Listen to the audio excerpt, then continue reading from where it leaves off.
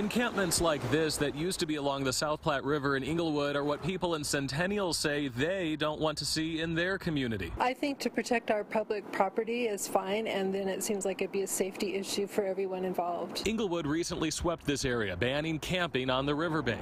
Centennial points to camping bans already in place in Denver, Colorado Springs, Parker, and Boulder. That's really for the safety of our citizens to have this ordinance in place. We're told there's been some camping in Centennial, but city staff says there haven't been any large scale encampments. I'm sure the sheriff's office has been noticing these types of camps. At a city council meeting Monday, Centennial Council members were asked to be proactive by banning camping along sidewalks, trails, and in parks and open spaces. I want to sit there and, and, and hear what the uh, citizens of, of Centennial have to say about it. State Rep Tom Sullivan, who lives in Centennial, says he hasn't heard from his constituents on the issue and hasn't formed an opinion himself just yet. Critics, though, argue that these bans do not address the heart of homelessness and that this is not a good way to find a real solution.